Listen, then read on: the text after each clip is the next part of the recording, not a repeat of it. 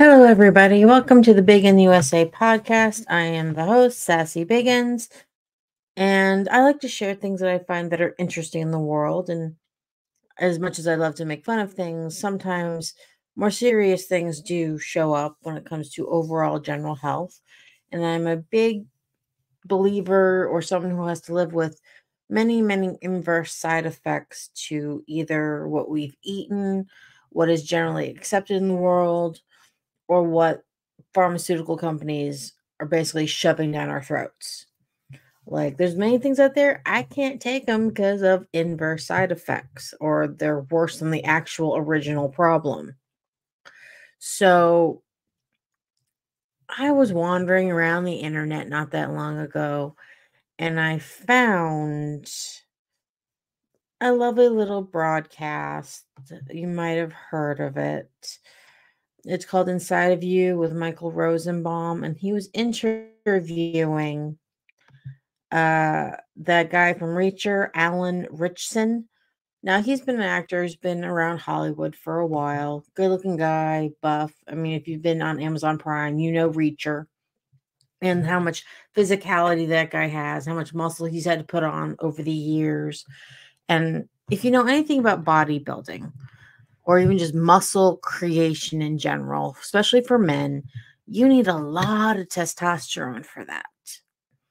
And so, like any action hero, as he's telling his story, he had to keep like extra 50, 60 pounds of straight muscle. That's like both my arms on his physique of how much extra additional muscle he needed to look that buff for that role. And he was contractually obligated to have it. So this was potentially going to affect his income. So the reason he was having an issue, so he does his season, does great. Uh, he had some surgery, as sometimes does happen when you're very physically busy with your job. Things happen. So he had a surgery, and so they gave him some pain reliever. I believe in the interview he claimed it was a much much stronger version of Tylenol based in acetaminophen. When he took this medicine, his testosterone plummeted to almost zero. Big dude like that shouldn't have any issues.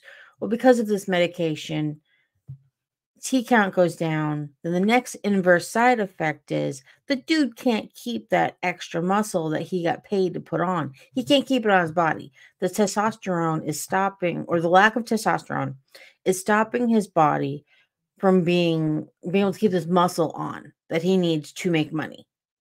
So then he had to go on this huge uh, T schedule, as they call it, to build up his numbers so he could keep the muscle on that he's working so so hard to get.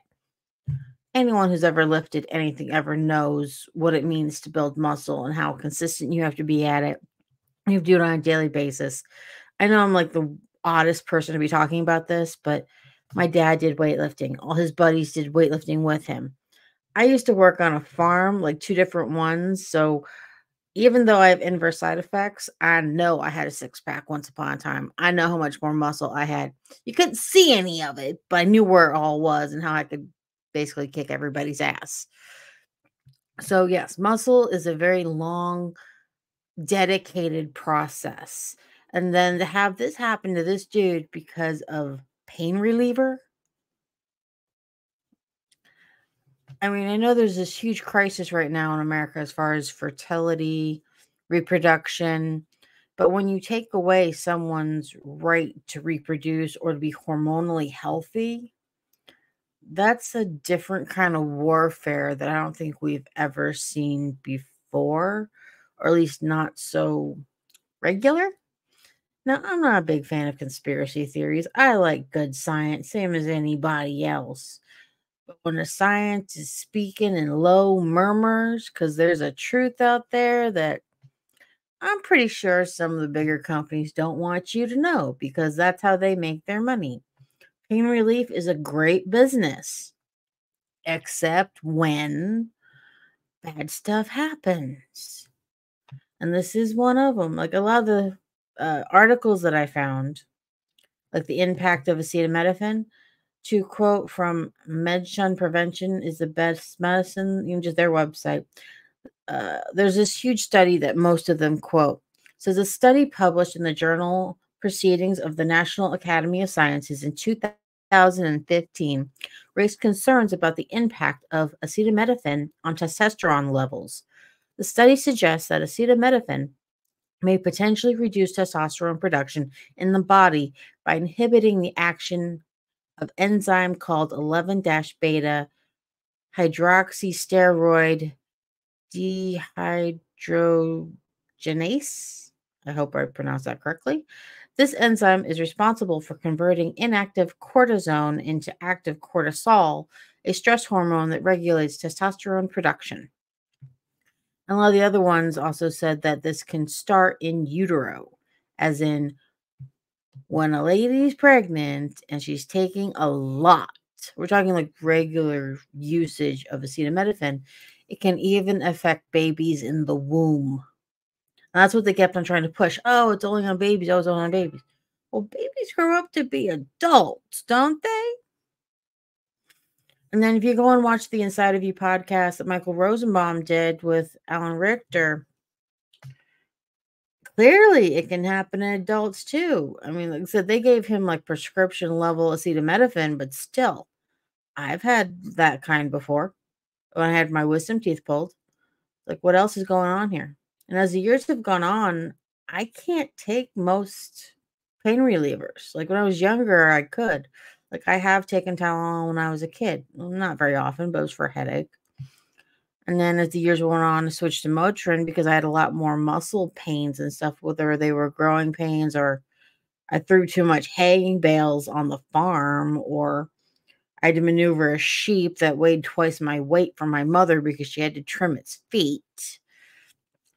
I mean, I'm not joking about that kind of stuff. I know it sounds funny, but farm work's farm work, y'all.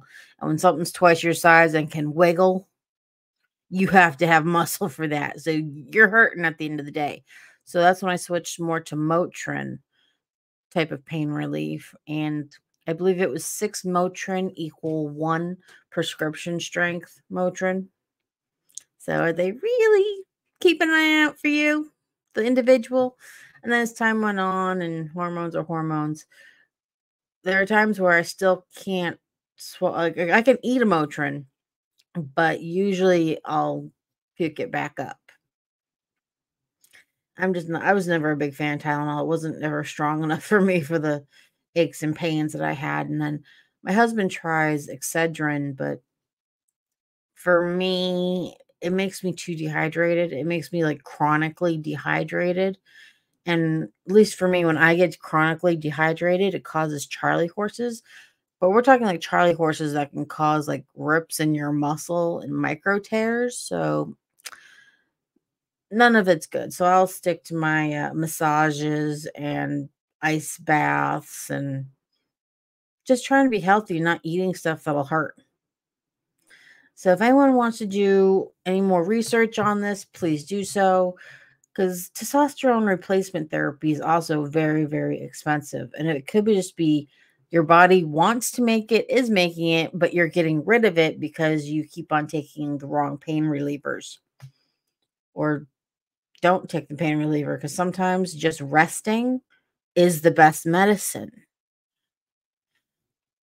Know what's out there in the world because I know we all want to go along and believe that life is all hunky dory all the time, but no, no, no, no, no, no. The based on this uh, war machine that we seem to be trapped in. No, it doesn't want peace.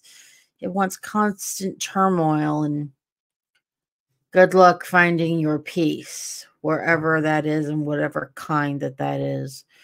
Because sometimes you just need just rest, do nothing, regroup, and try to stay as healthy as you possibly can if they will let you. This is Sassy Biggons over and out. Leave comments below. Consider supporting the podcast. Any links will be in the description below. But seriously, if you have any controversial opinion or actual research, please leave it below because I am open to discussion and I'm allowed to be wrong. I am totally allowed to be wrong. Have a good one, y'all.